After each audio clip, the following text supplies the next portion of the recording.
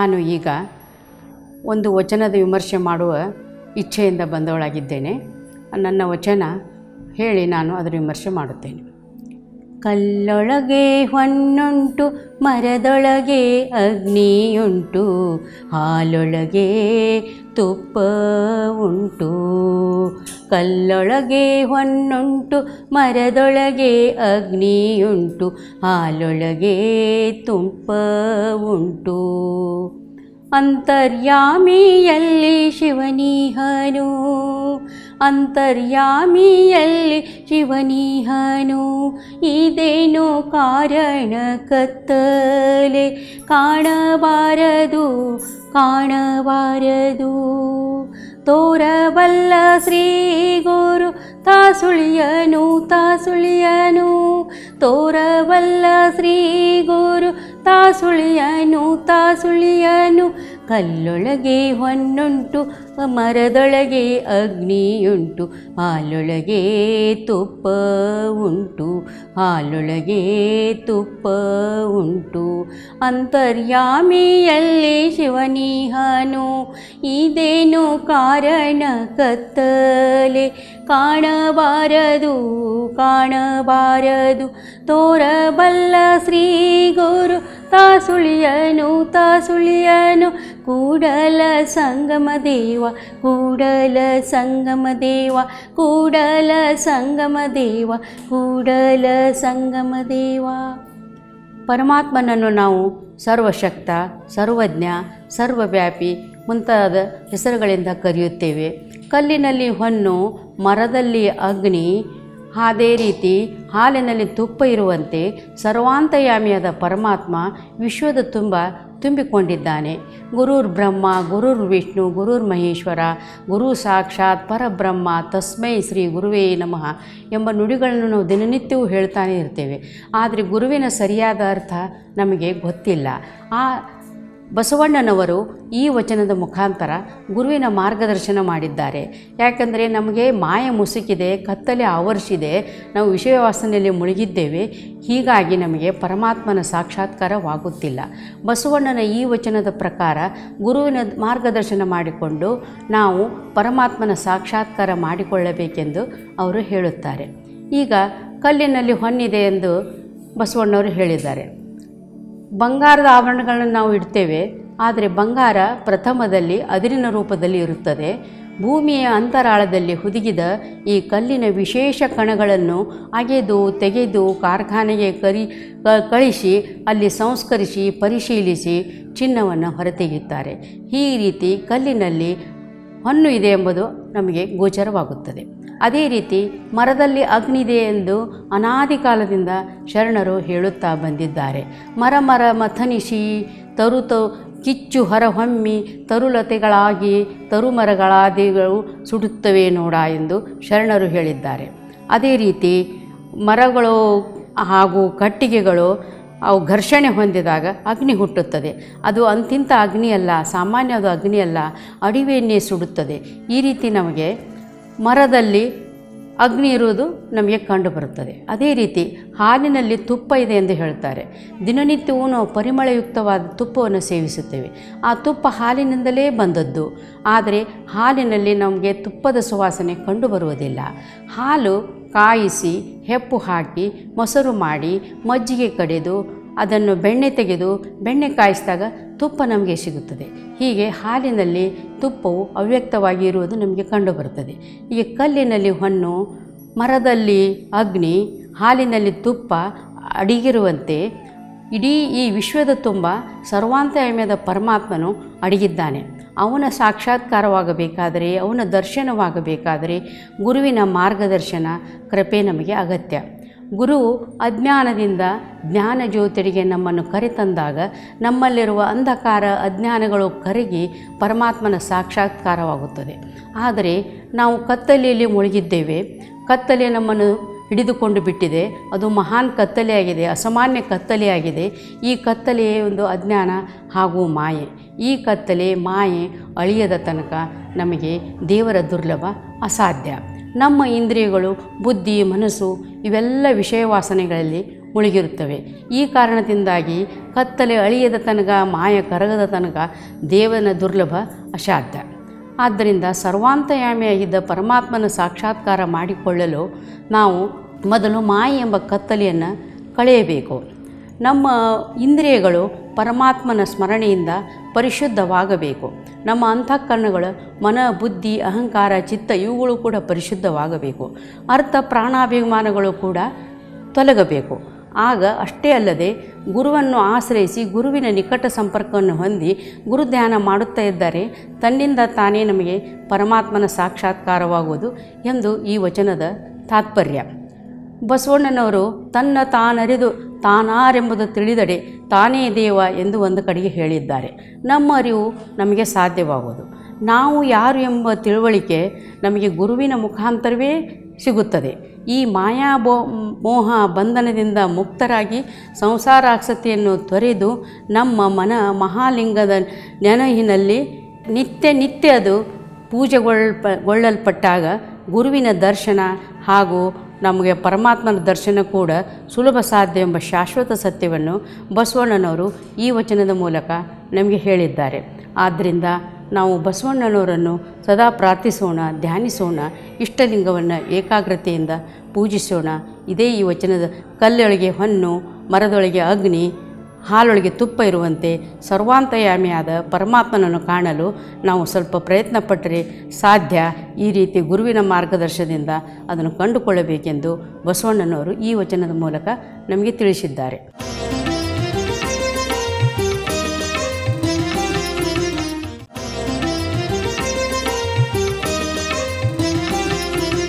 ಹನ್ನೆರಡನೇ ಶತಮಾನದಲ್ಲಿ ಆಗಿ ಹೋದ ಶರಣೆಯರ ಕುರಿತು ಒಂದೆರಡು ಮಾತುಗಳನ್ನು ಹೇಳಬಯಸುತ್ತೇನೆ. ಓಂ ಎಂಬುದು ಪ್ರಣವಾಕ್ಷರ. ಇದು ಅ, ಉ, ಮ ಎಂಬ ಮೂರು ಬೀಜಾಕ್ಷರಗಳಿಂದ ಕೂಡಿದೆ. ನಮ ಶಿವ ಎಂಬುದು ಪಂಚಾಕ್ಷರ ಮಂತ್ರವಾದರೆ ಓಂ ನಮ ಶಿವ ಎಂಬುದು ಷಡಕ್ಷರಿ ಮಂತ್ರ, ಇದು ದೇವ ಮಂತ್ರ. ಅದೇ ರೀತಿ ಬಸವ, ಮೂರಕ್ಷರದ ಈ ಬಸವ ಎಂಬ ಪದ ಓಂ ಎಂಬ ಬೀಜಾಕ್ಷರವೇ ಎಂದು ಶರಣರು ನಂಬಿದ್ದಾರೆ. ಹನ್ನೆರಡನೇ ಶತಮಾನದಲ್ಲಿ ಓಂ ಗುರು ಶ್ರೀ ಬಸವಲಿಂಗ ಎಂಬ ದ್ವಾದಶ ಮಂತ್ರ ಚಾಲನೆಗೆ ಬಂದಿತು. ಯಾಕಂದರೆ ಆಗ ಹನ್ನೆರಡನೇ ಶತಮಾನದಲ್ಲಿ ಬಸವಣ್ಣನನ್ನು ಮಂತ್ರಪುರುಷ ಎಂದು ಕರೆಯುತ್ತಿದ್ದರು. ಈ ಮಂತ್ರ ನಮ್ಮ ಧರ್ಮಗುರು ಬಸವಣ್ಣನವರ ಮಂತ್ರವೂ ಕೂಡ. ಅದೇ ರೀತಿ ಹನ್ನೆರಡನೇ ಶತಮಾನದಲ್ಲಿ ಅಲ್ಲಮ ಪ್ರಭುಗಳನ್ನು ಒಳಗೊಂಡು ಅನೇಕ ಶರಣರು ಕೂಡ ಈ ಬಸವ ಮಂತ್ರವನ್ನು ಪಠಿಸುತ್ತಿದ್ದರೆಂಬುದಕ್ಕೆ ಈ ವಚನ. ಬ ಎಂಬಲ್ಲಿಯನ ಭವಹರಿ ಇತ್ತು. ಸ ಎಂಬಲ್ಲಿ ಸರ್ವಜ್ಞಾನಿ ಆದನು ವ ಎಂದು ವಚಿಸುವಡೆ ಚೈತನ್ಯಾತ್ಮಕನಾದನು. ಇಂತೀ ಬಸವಾಕ್ಷರ ತ್ರಾಯವೆಂಬ ತ್ರಾಯವೆನ್ನ ಸರ್ವಾಂಗದಲ್ಲಿ ತೊಳಗಿ ಬೆಳಗುತ್ತಿರಲು. ಆನು ನೀನು ಬಸವ ಬಸವ ಬಸವ ಎನ್ನುತ್ತಿರ್ದೆನೆಯ್ಯ ಗುಹೇಶ್ವರ ಎಂದು ಹೇಳಿದ್ದಾರೆ. ಶೂನ್ಯ ಸಿಂಹಾಸನದ ಪೀಠಾಧ್ಯಕ್ಷರಾದ ಅಲ್ಲಮ್ಮ ಪ್ರಭುಗಳು, ಲಿಂಗಾಯತ ಧರ್ಮ ಸಂಸ್ಥಾಪಕರಾದ ಬಸವಣ್ಣನನ್ನು ಕುರಿತು ಈ ರೀತಿ ಸ್ತುತಿ ಮಾಡಿದ್ದಾರೆ. ಬ ಎಂದರೆ ಒಂದೇ ಒಂದು ಅಕ್ಷರದಲ್ಲಿ ಹುಟ್ಟು ಸಾವುಗಳ ಕುಣಿಕೆ ಹರಿದು ನಾವು ಜೀವನ್ಮುಕ್ತರಾಗುತ್ತೇವೆ ಎಂಬುದು ತಿಳಿದು ಬರುತ್ತದೆ. ಸ ಎಂದಾಗ ಸರ್ವಜ್ಞಾನಿ ನಾವಾಗುತ್ತೇವೆ. ವ ಎಂದು ವಚಿಸುವಡೆ ಚೈತನ್ಯಾತ್ಮಕನಾದೆನು. ಅಂದರೆ, ವ ಎಂದು ವಚಿಸುವಡೆ ನಮ್ಮ ಬಸವಾಕ್ಷರ ತ್ರಾಯವೆಂಬ ಸರ್ವಾಂಗದಲ್ಲಿ ಮುಳುಗುತ್ತಿರಲು ನಮ್ಮ ಅಲ್ಲಮ ಪ್ರಭುಗಳು ಹೇಳ್ತಾರೆ, ನಾನಷ್ಟೇ ಅಲ್ಲ, ನನ್ನೊಳಗಿರುವ ದೇವ, ನನ್ನ ದೇಹದಲ್ಲಿರುವ ದೇವನಾದ ಗುಹೇಶ್ವರನೂ ಕೂಡ ಆನು, ನೀನು, ಬಸವ ಬಸವ ಎನ್ನುತ್ತಿರ್ದೇನೆಯ್ಯ ಗುಹೇಶ್ವರ ಎಂದು ಹೇಳಿದಂತಾಗುತ್ತದೆ. ಇಷ್ಟೆಲ್ಲ ಗೊತ್ತಿದ್ರೂ ಕೂಡ ನಾವು ಗುಡಿ ಗುಂಡಾರಗಳಿಗೆ ಹೋಗ್ತೇವೆ, ಹರಕೆಗಳನ್ನು ಕಟ್ತೇವೆ ಮತ್ತು ಸುಮ್ಮನೆ ಬರದೆ ಬರಬೇಕಾದ್ರೆ ನಾಲ್ಕು ಫೋಟೋನು ತೊಗೊಂಡು ಬರ್ತೇವೆ. ವಿರೋಧವಾಗಿದೆ. ನಂಬಿ ಓ ಎಂದು ಬರುವ ಬಸವ ಇರುವಾಗ ನಮಗೆ ಈ ನೂರ ಎಂಟು ದೇವರುಗಳ ಗೊಡೆ ಬೇಕೆ? ಅಂದರೆ ಈ ರೀತಿ ನಾವು ಮಾಡೋದ್ರಿಂದ ಊರು ಸಬರಿ ಮಾಡ್ತಾರಂತಾರಲ್ಲ, ಆ ರೀತಿ ಆಗ್ತದೆ. ಅದಕ್ಕೆ ಬಸವ ಬಹಳ ಶ್ರೇಷ್ಠ ಮಾನವ ಎಂಬುದಕ್ಕೆ ಒಂದು ಕವನ. ಅದು ನಾನೇ ಬರೆದದ್ದು. ಮಾನವನಾಗಿ ಜನಿಸಿದ ಮ್ಯಾಲ ಏನೇನು ಕಂಡೀ? ಸಾಯೋ ತನಕ ಸಂಸಾರದೊಳಗ ಗಂಡ ಗುಂಡಿ ಮಾನವನಾಗಿ ಜನಿಸಿದ ಮ್ಯಾಲ ಏನೇನು ಕಂಡೀ? ಸಾಯೋ ತನಕ ಸಂಸಾರದೊಳಗ ಗಂಡ ಗುಂಡಿ ಈರೋದ್ರೊಳಗ ನೋಡು ಒಮ್ಮೆ ಬಸವನ್ ಗುಡಿ ಬಸವನ ನೆನೆಯುತ್ತ ಮುಂದಕ್ ನಡಿ ಮಾನವನಾಗಿ ಮಾನವನಾಗಿ ಜನಿಸಿದ ಮ್ಯಾಲ ಏನೇನು ಕಂಡಿ? ಸಾಯೋ ತನಕ ಸಂಸಾರದೊಳಗ ಗಂಡ ಗುಂಡಿ ಇಷ್ಟಲಿಂಗ ಕೈಗೆ ಕೊಟ್ಟ ಮಹಾವೀರ. ಇಷ್ಟಲಿಂಗ ಕೈಗೆ ಕೊಟ್ಟ ಮಹಾವೀರ. ಜಾತೀಯತೆ ಅಳಿಸಿದಂತ ಶೂರಧೀರ. ಜಾತಿ ಭೇದ ಅಳಿಸಿದಂತ ಶೂರಧೀರ. ಮಾನವನಾಗಿ ಜನಿಸಿದ ಮ್ಯಾಲ ಏನೇನ್ ಕಂಡಿ? ಸಾಯು ತನಕ ಸಂಸಾರದೊಳಗ ಗಂಡ ಗುಂಡಿ. ಭಕ್ತಿ ಜ್ಞಾನ ವೈರಾಗ್ಯದ ಪಥವ ಹಿಡಿದಾನು. ಶರಣ ಶರಣಿಯರಿಗೆಲ್ಲ ಅನುಭವ ಮಂಟಪ ಕಟ್ಸ್ಯಾನು. ಭಕ್ತಿ ಜ್ಞಾನ ವೈರಾಗ್ಯದ ಪಥವ ಹಿಡಿದಾನು. ಶರಣ ಶರಣಿಯರಿಗೆಲ್ಲ ಅನುಭವ ಮಂಟಪ ಕಟ್ಸ್ಯಾನು. ಜನರ ಸೇವೆಯ ಈಶ ಸೇವೆ ಎಂದ ನೀತ. ಮೋಕ್ಷ ಮಾರ್ಗದ ಮರ್ಮವ ಅರುಹಿದ ನೀತ. ಮಾನವನಾಗಿ ಜನಿಸಿದ ಮ್ಯಾಲ ಏನೇನು ಕಂಡಿ? ಸಾಯೋ ತನಕ ಸಂಸಾರದೊಳಗ ಗಂಡ ಗುಂಡಿ. ಕೂಡಲ ಸಂಗನ ಮಹಾಭಕ್ತ ಬಸವಣ್ಣ. ವಚನ ಸಾಹಿತ್ಯ ನೀಡಿದಂಥ ಜಗದಣ್ಣ. ಕೂಡಲ ಸಂಗನ ಮಹಾಭಕ್ತ ಬಸವಣ್ಣ ವಚನ ಸಾಹಿತ್ಯ ನೀಡಿದಂಥ ಜಗದಣ್ಣ. ಭಕ್ತರಿಗೆಲ್ಲ ಕಾಯಕಲ್ಪ ಆಗಿ ನಿಂತನು. ಭಕ್ತರಿಗೆಲ್ಲ ಕಾಯಕಲ್ಪ ಆಗಿ ನಿಂತನು. ದೇವನೊಬ್ಬ ನಾಮ ಹಲವು ಎಂದ ಬಿಟ್ಟಾನು. ದೇವನೊಬ್ಬ ನಾಮ ಹಲವು ಎಂದ ಬಿಟ್ಟಾನು. ಮಾನವನಾಗಿ ಜನಿಸಿದ ಮ್ಯಾಲ ಏನೇನ್ ಕಂಡಿ? ಸಾಯೋ ತನಕ ಸಂಸಾರದೊಳಗ ಗಂಡ ಗುಂಡಿ ಸಾಯೋ ತನಕ ಸಂಸಾರದೊಳಗ ಗಂಡ ಗುಂಡಿ ಇದೇ ರೀತಿ ಬಸವಣ್ಣನವರು ಸರಳ ಸುಂದರ ವಚನಗಳನ್ನು ಬರೆದಿದ್ದಾರೆ. ತಂದೆ ನೀನು, ತಾಯಿ ನೀನು, ಬಂಧು ನೀನು, ಬಳಗ ನೀನು, ನೀನಲ್ಲದೆ ಮತ್ತಾರು ಇಲ್ಲಯ್ಯ, ಕೂಡಲ ಸಂಗಮ ದೇವ, ಹಾಲಲ್ಲದ್ದು ನೀರಲ್ಲದ್ದು ನಿಮ್ಮ ಧರ್ಮ. ಇಂಥ ವಚನಗಳನ್ನು ನಾವು ಇಂದಿನ ದಿನಮಾನಗಳಲ್ಲಿ ಮಕ್ಕಳಿಗೆ ಕಲಿಸಬೇಕು, ಅವುಗಳ ಅರ್ಥವನ್ನು ತಿಳಿಸಬೇಕು. ಬಸವಣ್ಣವರು ಒಂದು ಸಪ್ತಸೂತ್ರ ವಚನ. ಕಳಬೇಡ, ಕೊಲಬೇಡ, ಹುಸಿಯ ನುಡಿಯಲು ಬೇಡ ಮುನಿಯೇ ಬೇಡ ಅನ್ಯರಿಗೆ ಅಸಹ್ಯ ಬಡಬೇಡ ತನ್ನ ಬಣ್ಣಿಸಬೇಡ, ಇದ್ರೂ ಹಳಿಯಲು ಬೇಡ. ಇದೇ ಅಂತರಂಗ ಶುದ್ಧಿ, ಇದೇ ಬಹಿರಂಗ ಶುದ್ಧಿ, ಇದೇ ನಮ್ಮ ಕೂಡಲ ಸಂಗಮ ದೇವನ ಒಲಿಸುವ ಪರಿ. ಈ ಸಪ್ತ ವಚನ ಸಪ್ತಸೂತ್ರ ವಚನದಲ್ಲಿ ಬ್ರಹ್ಮಾಂಡವೇ ಅಡಗಿದೆ. ಆದ್ದರಿಂದ ಈ ವಚನಗಳನ್ನು ಪಾಲನೆಯನ್ನು ಮಾಡಬೇಕು. ಅಂದರೆ ನಮ್ಮ ಜೀವನ ಸಾರ್ಥಕ ಆಗುತ್ತದೆ. ವಚನಗಳನ್ನು ನಮ್ಮ ಜೀವನದಲ್ಲಿ ಕೂಡ ನಾವು ಅಳವಡಿಸಿಕೊಳ್ಳಬೇಕು. ಅದೇ ರೀತಿ ಶಟಸ್ಥಲ ಚಕ್ರವರ್ತಿ ದಿವ್ಯಜ್ಞಾನಿ ಹಾಗೂ ಬಸವಣ್ಣನವರ ಸೋದರಳಿನಾದ ಚನ್ನ ಬಸವಣ್ಣನವರು ಕೂಡ ದೇವ ಮಂತ್ರಕ್ಕಿಂತ ಬಸವಣ್ಣನ ಮಂತ್ರವೇ ಶ್ರೇಷ್ಠವೆಂದು ಹೇಳಿದ್ದಾರೆ. ಅದರ ಮೂಲಕ ತಮ್ಮ ಕಾಯವನ್ನು ಬಯಲು ಮಾಡಿಕೊಂಡಿದ್ದಾರೆ. ಅಯ್ಯ ಅಯ್ಯ ಎಂದಡೆ, ಅಯ್ಯ, ಓ ಎಂಬುದ ಮಾಣ್ಪದೆ, ಅವ್ವ ಅವ್ವ ಎಂದಡೆ, ಅವ್ವ, ಓ ಎಂಬುದ ಮಾಣ್ಪದೆ, ಇದು ತಿಳಿದು ಕೂಡಲ ಚನ್ನ ಸಂಗಯ್ಯನಲ್ಲಿ, ಬಸವಲಿಂಗ ಬಸವಲಿಂಗ ಬಸವಲಿಂಗ ಎಂದಡೆ ಎನ್ನ ಕಾಯ ಬಯಲಾಗದೆ ಎಂದು ಹೇಳಿದ್ದಾರೆ.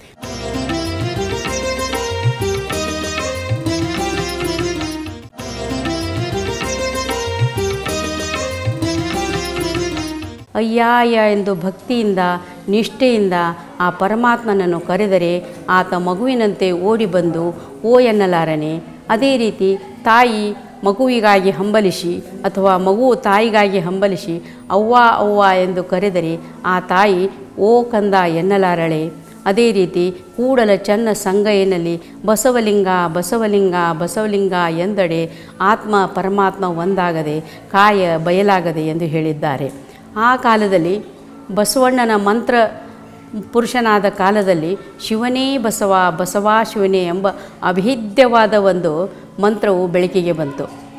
ಅದು ನಮ್ಮ ಶಿವಶರಣರು ಈಗಲೂ ಅದನ್ನು ಪಾಲಿಸ್ತಾ ಇದ್ದಾರೆ. ನಮ್ಮ ಚನ್ನಬಸವಣ್ಣನವರ ಇನ್ನೊಂದು ವಚನ, ಬಸವ ಎಂಬ ಮೂರಕ್ಷರ ಎನ್ನ ಹೃದಯದಲ್ಲಿ ನೆಲೆಗೊಂಡಡೆ ಅಭೇದ್ಯ ಭೇದ್ಯವಾಯಿತು, ಅಸಾಧ್ಯ ಸಾಧ್ಯವಾಯಿತು ಎಂದು ಹೇಳ್ತಾರೆ. ಮೂಢನಂಬಿಕೆಯುಳ್ಳ ಕೆಲವು ಜನ ಮೂರು ಅಕ್ಷರಕ್ಕೆ, ಮೂರು ಅಂಕಿಗೆ ಅದು ಅಶುಭ ಎಂದು ಹೇಳ್ತಾರೆ, ಮೂರಾ ಬಟ್ಟೆ ಎಂದು ಹೇಳ್ತಾರೆ. ಆದರೆ ಬಸವ ಎಂಬ ಅಕ್ಷರವೇ ಮೂರಕ್ಷರ. ಬಸವ ಎಂಬ ಪ್ರಣವಾಕ್ಷರ ಓಂ ಎಂಬ ಬೀಜಾಕ್ಷರವನ್ನು ಒಳಗೊಂಡಿದೆ. ಈ ಕಾರಣದಿಂದಾಗಿ ಮಂತ್ರ ಬಸವನ ಈ ಮೂರು ಅಕ್ಷರಗಳು ಹೃದಯದಲ್ಲಿ ಇಳಿದಡೆ ಅಸಾಧ್ಯವಾದುದು ಸಾಧ್ಯವಾಗುತ್ತದೆ. ಭೇದಿಸಲಾರದ್ದು ಭೇದಿಸಲಾಗುತ್ತದೆ ಎಂದು ಹೇಳುತ್ತಾರೆ. ಹೀಗೆ ಬಸವನ ಮಂತ್ರ ಮಹಿಮೆ ಬಹಳ ಇದೆ. ಅದು ಹೇಳಿದಷ್ಟು ಕಡಿಮೆ. ಅದೇ ರೀತಿ ಜನಸಾಮಾನ್ಯರು ಕೂಡ ಅಥವಾ ಜನಪದ ಗರತಿಯರು ಕೂಡ ಬಸವಣ್ಣನನ್ನು ಹಾಡಿದ್ದಾರೆ, ಸ್ತುತಿಸಿದ್ದಾರೆ. ಜನಪದ ಗರತಿಯರು ಬಹಳ ಸುಂದರವಾಗಿ ಹೇಳಿದ್ದಾರೆ. ಮಲ್ಲಿಗೆ ಇರುವಾಗ ಮುಳ್ಳೇಕೆ ಮುಡಿಯುತ್ತೀ? ಮಲ್ಲಿಗೆ ಇರುವಾಗ ಮುಳ್ಳೆಕೆ ಮುಡಿಯುತ್ತೀ? ಕಲ್ಯಾಣದಲ್ಲಿ ಬಸವಣ್ಣ. ಕಲ್ಯಾಣದಲ್ಲಿ ಬಸವಣ್ಣ ಇರುವಾಗ ಕಲ್ಗೇಕೆ ಕೈಯ ಮುಗಿಯೂತಿ? ಕಲ್ಗೇಕೆ ಕೈಯ ಮುಗಿಯೂತಿ? करुणबन्दरे कायो मरणबन्दरे वैयो करुणबन्दरे कायो मरणबन्दरे वैयो करुणी कल्याणी बसवण्णा। करुणी कल्याणी बसवण्ण बसवण्णकाशीनाथा कडेतनककायो अभिमाना। कडेतनककायो अभिमाना। ಹೀಗೆ ಸುಂದರವಾಗಿ ನಮ್ಮ ಜಾನಪದ ಗರತಿಯರು ಕುಳಿತಾಗ ನಿಂತಾಗ ಈ ಹಾಡುಗಳನ್ನು ರಚಿಸಿದ್ದಾರೆ. ಅಷ್ಟೇ ಅಲ್ಲ, ಕುಟ್ಟುವಾಗ, ಬೀಸುವಾಗ ಕೂಡ ಅವಳು ವಚನ ರಚಿಸುತ್ತಿದ್ದರು. ಇವರು ಯಾವ ಯೂನಿವರ್ಸಿಟಿ ಮೆಟ್ಟಲು ಹತ್ತಿದವರಲ್ಲ, ಹೆಚ್ಚು ಕಲಿತವರು ಅಲ್ಲ. ಅದೇ ರೀತಿ ನಮ್ಮ ಗಂಗಾಂಬಿಕಾ, ನೀಲಾಂಬಿಕಾ, ಮೋಳಿಗೆ ಮಹಾದೇವಿ, ಆಯ್ದಕ್ಕಿ ಲಕ್ಕಮ್ಮ ಮತ್ತು ಅಕ್ಕನಾಗಮ್ಮ ಮುಂತಾದವರು ಕೂಡ ಅನೇಕ ವಚನಗಳನ್ನು ರಚಿಸಿ ಗಟ್ಟಿಮುಟ್ಟಾದ ವಚನಗಳನ್ನು ರಚಿಸಿ ಪ್ರಖ್ಯಾತರಾಗಿದ್ದಾರೆ. ಅವರಲ್ಲಿ ಅಕ್ಕ ಮಹಾದೇವಿ ಶ್ರೇಷ್ಠ ವಚನಗಾರ್ತಿ ಎಂದು ಪ್ರಖ್ಯಾತರಾಗಿದ್ದಾಳೆ. ಅವಳ ಒಂದು ವಚನ, ಆದ್ಯರ ಅರವತ್ತು ವಚನಕ್ಕೆ ದೊಣ್ಣಾಯಕನ ನಲವತ್ತು ವಚನ, ದೊಣ್ಣಾಯಕನ ನಲವತ್ತು ವಚನಕ್ಕೆ ಅಲ್ಲಮ್ಮ ಪ್ರಭುವಿನ ಇಪ್ಪತ್ತು ವಚನ, ಅಲ್ಲಮ್ಮ ಪ್ರಭುವಿನ ಇಪ್ಪತ್ತು ವಚನಕ್ಕೆ ಚನ್ನ ಬಸವಣ್ಣನ ಹತ್ತು ವಚನ ಚನ್ನ ಹತ್ತು ವಚನಕ್ಕೆ ಅಜಗಣ್ಣನ ಐದು ವಚನ, ಅಜಗಣ್ಣನ ಐದು ವಚನಕ್ಕೆ ಅಕ್ಕ ಮಹಾದೇವಿ ಒಂದು ವಚನ ಸಮನ, ಸಮ ಎಂದು ಹೇಳಿದ್ದಾರೆ. ಇದರಿಂದ ನಮ್ಮ ಅಕ್ಕ ಮಹಾದೇವಿ ಶ್ರೇಷ್ಠ ವಚನಗಾರ್ತಿ ಎಂಬುದು ನಮಗೆ ಗೊತ್ತಾಗ್ತದೆ. ಅಷ್ಟೇ ಅಲ್ಲದೆ ಆಗ ಕಲ್ಯಾಣದಲ್ಲಿ ಕ್ರಾಂತಿ ಆಯಿತು. ಕ್ರಾಂತಿಯಾದಾಗ ವಚನಗಳೆಲ್ಲ ಚೆಲ್ಲಾಪಿಲ್ಲಿ ಆದವು. ನಮ್ಮ ಗಂಗಾಂಬಿಕೆ ಆ ವಚನಗಳ ಕಟ್ಟುಗಳನ್ನು ತಲೆ ಮೇಲೆ ಹೊತ್ತುಕೊಂಡು ಗುಪ್ತ ಮಾರ್ಗದಿಂದ ಅವನನ್ನು ಉಳಿಸಿದ್ದಾಳೆ. ಈ ಬಸವಣ್ಣನವರಿಗಿಂತ ವಚನಗಳನ್ನು ಉಳಿಸಿದ ಖ್ಯಾತಿ ಆ ಗಂಗಾಂಬಿಕೆಗೆ ಸಲ್ಲಬೇಕು. ಇದು ಶರಣಿಯರ ಕಥೆಯಾಯಿತು. ಇನ್ನು ಇದೇ ರೀತಿ ಶಿವಯೋಗಿ ಸಿದ್ದರಾಮೇಶ್ವರರು ಹಾಗೂ ಮೋಳಿಗೆ ಮಹಾದೇವನವರು, ಕಿನ್ನರಿ ಬ್ರಹ್ಮಯ್ಯ ಮುಂತಾದರು ಕೂಡ ತಮ್ಮ ವಚನಗಳ ಮೂಲಕ ಬಸವಣ್ಣ ಮಂತ್ರಪುರುಷನೆಂದು ಸಾರಿದ್ದಾರೆ. ಈ ಇದೇ ರೀತಿ ಒಬ್ಬ ಯೋಗಿ ಜೇವರಿಗೆ ಷಣ್ಮುಖ ಸ್ವಾಮಿಗಳು, ಬಸವ ನಾಮವೆನೆಗೆ ಕಾಮಧೇನು ಕಾಣಿರು, ಬಸವ ನಾಮವೆನೆಗೆ ಕಲ್ಪವೃಕ್ಷ ಕಾಣಿರು, ಬಸವ ನಾಮವೆನಿಗೆ ಚಿಂತಾಮಣಿ ಕಾಣಿರು, ಬಸವ ನಾಮವೆನಿಗೆ ಪರುಷಮಣಿ ಕಾಣಿರು ಎಂದು ಹೃದಯ ತುಂಬಿ ಹೇಳಿದ್ದಾರೆ. ಬಸವ ನಾಮವೆಂದರೆ ಬೇಡಿದ್ದನ್ನು ಕೊಡುವ ಕಾಮಧೇನು. ಬಸವ ನಾಮವೆಂದರೆ ಬೇಡಿದ್ದನ್ನು ಕೊಡುವ ಕಲ್ಪವೃಕ್ಷ. ಬಸವ ನಾಮವೆಂದರೆ ಬಯಸಿದ್ದನ್ನೆಲ್ಲ ಈಡೇರಿಸುವ ಚಿಂತಾಮಣಿ. ಅದೇ ರೀತಿ ಬಸವ ನಾಮವೆಂದರೆ ಕಬ್ಬಿಣವನ್ನು ಕೂಡ ಪರುಷ ಮಾಡುವಂಥ ಶಕ್ತಿ ಆ ಬಸವ ನಾಮಕ್ಕಿದೆ. ಬಸವ ನಾಮವೆಂದರೆ ಅಮೃತ ಸಮಾನ. ಯಾವ ರೀತಿ ಅಮೃತ ಕಡಿದು, ಕುಡಿದು ಅಮರರಾಗುತ್ತಾರೋ ಹಾಗೂ ಬಸವನ ವಚನಗಳ ಅಮೃತ ಕುಡಿದು ನಾವು ಅಮರರಾಗಬೇಕೆಂದು ಬಸವಣ್ಣನವರ ವಚನಗಳ ಸಾರುತ್ತವೆ. ಇದೇ ರೀತಿ ಜಗಜ್ಯೋತಿ ಬಸವಣ್ಣನವರು ಮಂತ್ರಮೂರ್ತರಾಗಿದ್ದರು. ಆಗ ಶಿವಾಯ ನಮಃ ಎಂಬ ಪಂಚಾಕ್ಷರಿ ಮಂತ್ರ, ಅದೇ ರೀತಿ ಓಂ ನಮ ಶಿವ ಎಂಬ ಷಡಕ್ಷರಿ ಮಂತ್ರಗಳಂತೆ ಓಂ ಶ್ರೀ ಗುರು ಬಸವಲಿಂಗ ಎಂಬ ಮಂತ್ರದ ಪಠನೆ ಸಮಕಾಲೀನ ಶರಣರಿಂದ ಹಿಡಿದು ಅದು ಈಗೂ ನಮ್ಮ ಜಾರಿಯಲ್ಲಿದೆ. ಒಂದು ಮಾತು ಗಮನಾರ್ಹವಾದ ವಿಷಯ. ಈ ಮಂತ್ರಪುರುಷನೆಂಬ ಹೆಸರು ಬಸವಣ್ಣನಿಗೆ ಮಾತ್ರ ಮೀಸಲಾಗಿದೆ. ಅನುಭವ ಮಂಟಪದ ಅಧ್ಯಕ್ಷರಾದ ಅಲ್ಲಮ್ಮ ಪ್ರಭುವಿಗಾಗಲಿ ದಿವ್ಯಜ್ಞಾನಿಯಾದ ಚನ್ನಬಸವಣ್ಣನವರಿಗಾಗಿ ಈ ಮಂತ್ರಪುರುಷದ ಪದ ಅವರಿಗೆ ಇನ್ನೂ ದೊರೆತಿಲ್ಲ. ಈಗಲೂ ಕೂಡ ಹಳ್ಳಿಯಲ್ಲಿ, ಹಳ್ಳಿ ಮನೆ ಮನೆಗಳಲ್ಲಿ ಶಿವನೇ ಬಸವ ಬಸವ ಶಿವನೇ ಅನ್ನುವುದನ್ನು ಕೇಳುತ್ತೀರಿ ಬಸವನಿದ್ದರೆ ಚಂದ, ಬಸವನ ಮನೆ ಚಂದ, ಬಸವನ ನಾಡು ಚಂದ ಹಳ್ಳಿಗರು ಚೆನ್ನಾಗಿ ಹಾಡುತ್ತಾರೆ. ಮತ್ತು ಕೂತರೆ ಬಸವ, ನಿಂತರೆ ಬಸವ, ಕಷ್ಟದಲ್ಲಿ ಬಸವ, ಎಲ್ಲದಕ್ಕೂ ಬಸವ ಬಸವ ಮಂತ್ರ ಅವರಿಗೆ ತಾರಕ ಮಂತ್ರವಾಗಿದೆ ಸಂಜೀವನಿಯ ಮಂತ್ರವಾಗಿದೆ. ಒಟ್ಟಾರೆ ಹೇಳುವುದಾದರೆ ಬಸವನಿದ್ದರೆ ಪಾಪ ಪರಿಹಾರ, ಬಸವನೆಂದರೆ ಪಾಪ ಪರಿಹಾರ, ಬಸವನೆಂದರೆ ಸಮಸ್ಯೆಗಳು ದೂರ, ಬಸವನೆಂದರೆ ವಿಶ್ವಸಾಗರ, ಬಸವನೆಂದರೆ ಬಾಳು ಬಂಗಾರ ಎಂದು ನಾನು ಹೇಳಬಯಸುತ್ತೇನೆ. ಅದಕ್ಕೆ ಇಲ್ಲಿಯವರೆಗೆ ನಮ್ಮನ್ನು ಬಸವ ಟಿ ವಿಯವರು ಬೆಂಗಳೂರಿನಿಂದ ಬಂದು ನಮ್ಮನ್ನು ಉತ್ತೇಜಿಸಿ, ಉದ್ದೇಶಿಸಿ ನಮಗೆ ಅವಕಾಶ ಮಾಡಿಕೊಟ್ಟಿದ್ದಾರೆ. ಅವರಿಗೆ ನಾನು ಅಷ್ಟೇ ಅಲ್ಲದೆ ಅವರು ನಿಸ್ವಾರ್ಥ ಸೇವೆಯನ್ನು ಮಾಡುತ್ತಿದ್ದಾರೆ ಅವರಿಗೆ ದೇವರು ಆಯುಷ್ಯ, ಆರೋಗ್ಯವನ್ನು ಕಟ್ಟು ಕಾಪಾಡಲಿ. ಅದೇ ರೀತಿ ಅವರ ಪ್ರಚಾರ ಕಾರ್ಯಕ್ಕೆ ನಾವು, ನೀವುಗಳೆಲ್ಲ ಕೈಗೂಡಿಸೋಣ ಎಂದು ಹೇಳಿ ನನಗೆ ಎರಡು ಮಾತು ಮಾತಾಡಲು ಅವಕಾಶಕ್ಕೂ ಮಾಡಿಕೊಟ್ಟಿದ್ದಕ್ಕೆ ಧನ್ಯವಾದಗಳು.